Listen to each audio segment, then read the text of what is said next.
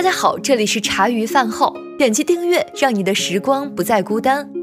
二零零六年港姐大赛，曾志伟公开挖苦女主持人迪娜：“我们从小就看你的演出，但我看的是七情七纵七色狼，你真是我们心目中的偶像。”面对曾志伟的挖苦，迪娜柔声反击：“你不是真心的。”噎得曾志伟一时语塞，随后又嫣然一笑：“不过现在你说不出话，我能感觉到你是真心的了。”迪娜的一生堪称传奇，从艳星到商人，从破产到腰缠万贯，息影后又涉足航空事业，研发全球定位系统。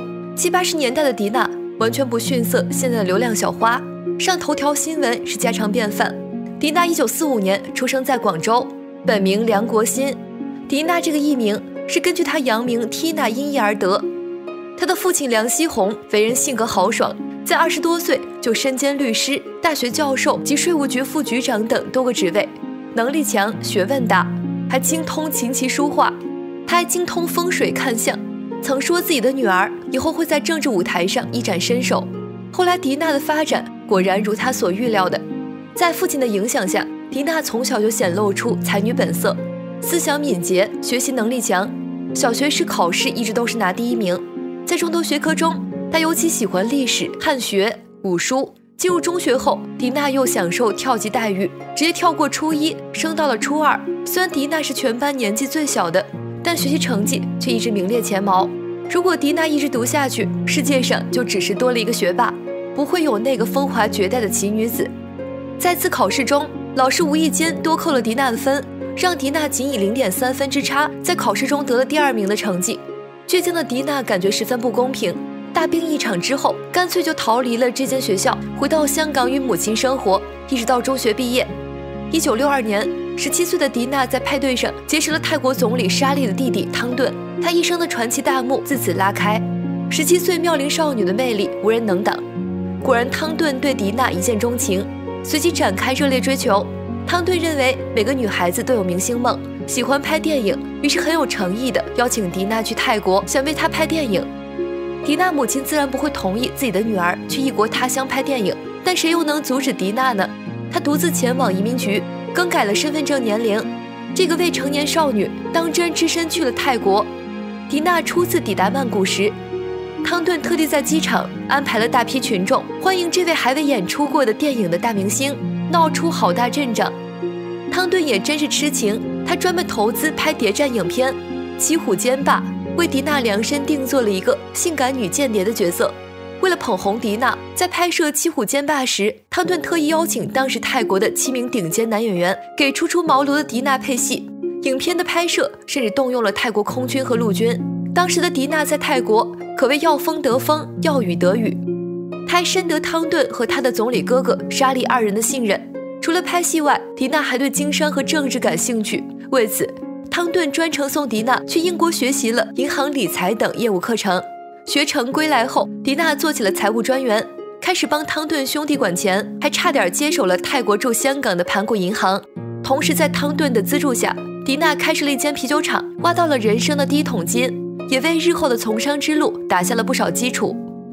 六十年代初，泰国总理沙利曾以独裁手段聚敛了巨额财富，因为某些原因突然暴毙。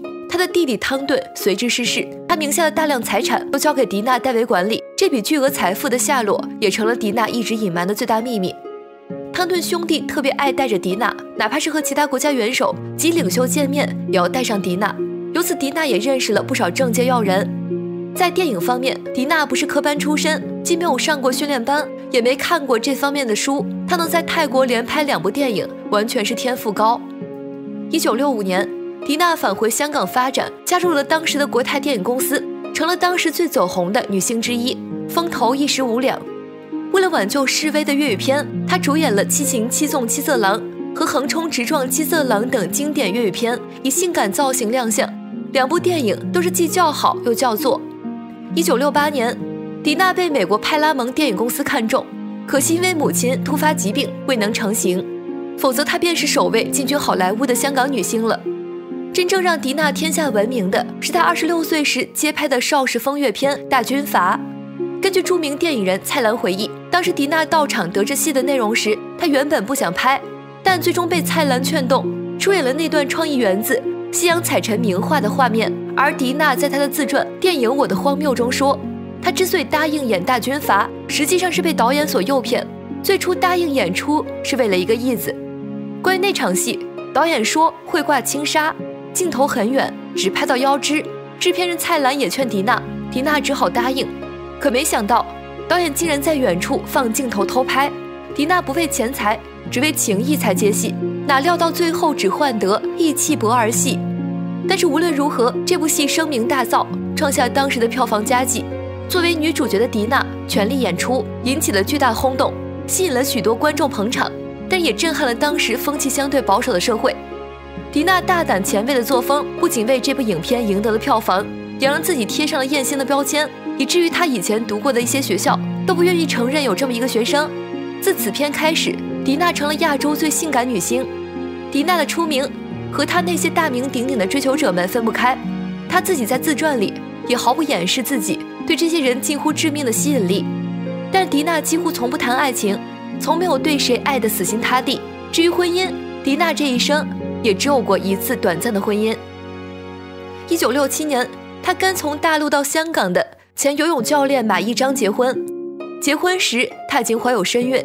没人知道这段感情是否关乎爱情，因为比起他那些声名显赫的追求者，马一章几乎不值一提。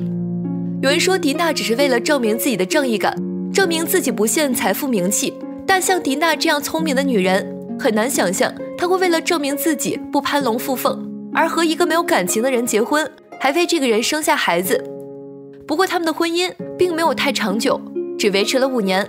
对马一章来说，迪娜是自己生命中的惊鸿，她本该是天上的仙女，哪里是他这样的普通人能够收服的？因此他战战兢兢，每一步都如履薄冰。婚姻中怀疑、自卑和嫉妒不断堆积，终于在离婚时爆发。当时他甚至发声明说，孩子不是自己的。但迪娜连辩驳都懒得辩驳，只浅浅一笑，带着女儿远走。值得一提的是，迪娜的女儿马天如后来做了变性手术，美女变成了硬汉。迪娜的追求者之多，让很多人瞠目结舌，范围亦遍布全球。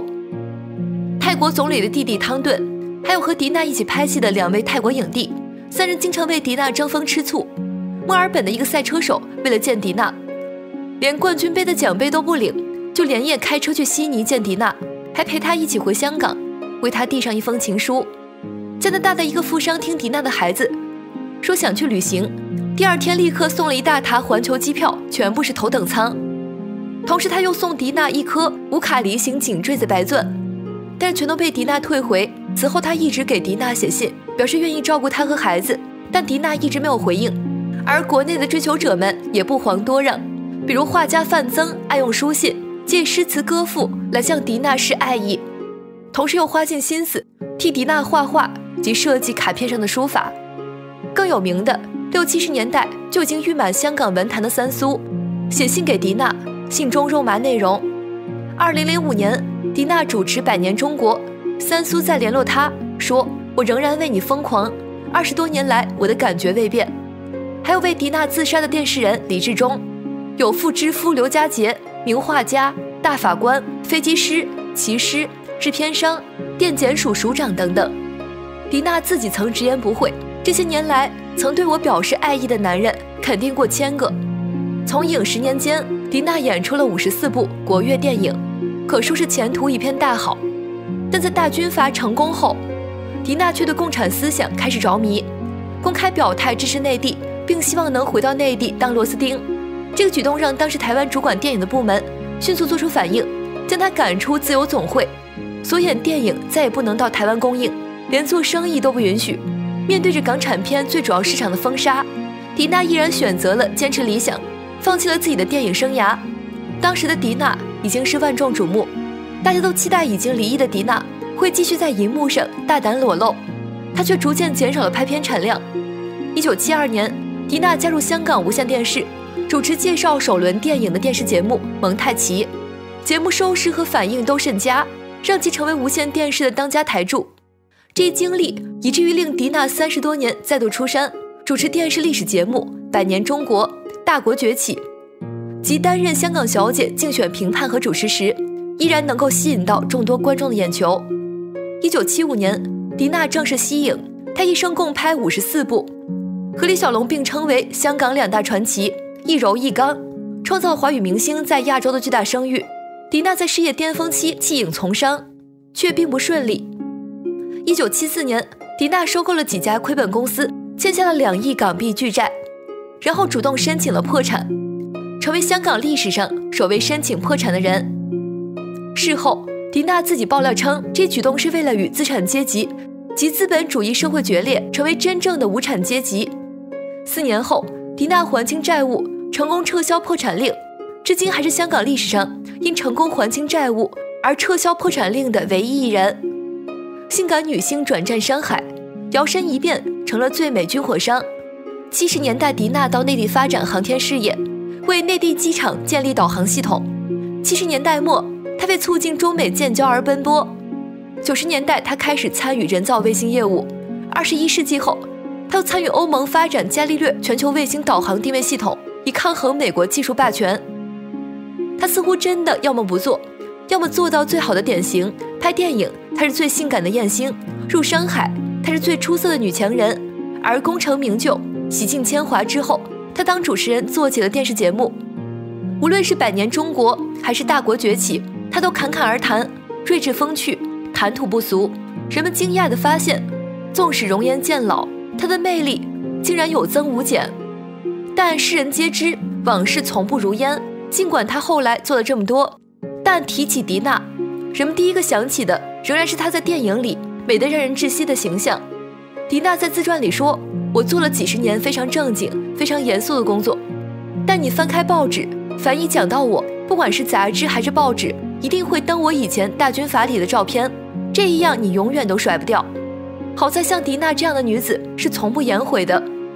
历经沧桑的数十年后，他回头只是给了那段岁月极轻极淡的两个字作为评价：荒谬。”自两千年开始，迪娜先后多次患癌，最终于二零一零年三月三十一日与癌症抗争十年后，终因身体衰竭去世。有人这样评价迪娜：够义气，有见识，口才一流，是一代奇女子。今天的分享就到这里了，大家还想看谁的故事呢？记得在评论区告诉我们，别忘了动动手指点击订阅、点赞、分享哦。我们下期更精彩，拜拜。